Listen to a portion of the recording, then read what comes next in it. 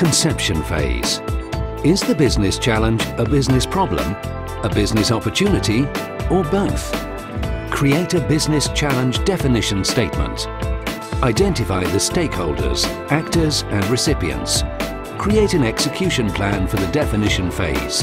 This must include workshop agendas, agreed dates and the workshop's purpose and deliverables. Complete and publish the conception report.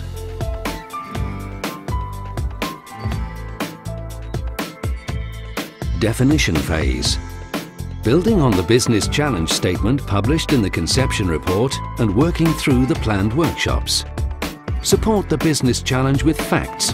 Quantify the business challenge in a monetary value. Discuss, define and agree the business objectives and the expected business benefits. Draft the first business requirements catalogue. Create business solution options.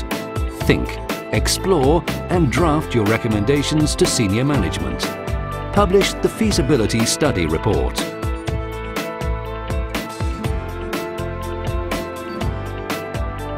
Planning phase.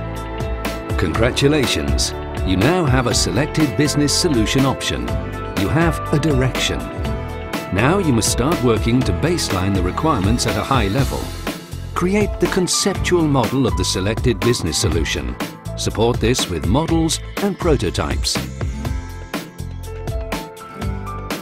Update the requirements catalogue. Ensure that the business requirements are properly mapped with the business benefits that relate to the selected business solution option. Make sure that the requirements are properly prioritised. The main driver must be business benefit. Decompose the project into increments Ensure that the first increment delivers the maximum business benefit with the minimal business requirements. Publish the increment plan. Functional Solution Iteration Phase. This phase is about building the right business solution. To do this, the team, in other words, the developers and user representatives, must work together.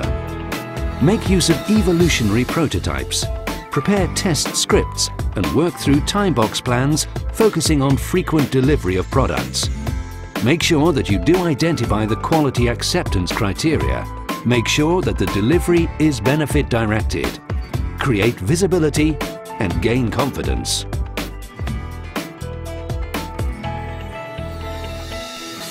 Build Solution Iteration Phase.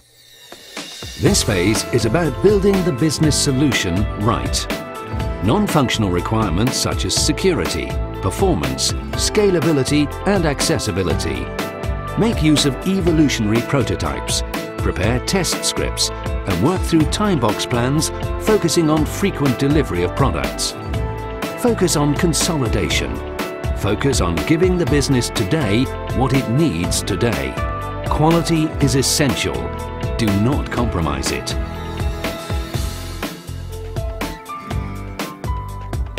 Deployment Iteration Phase.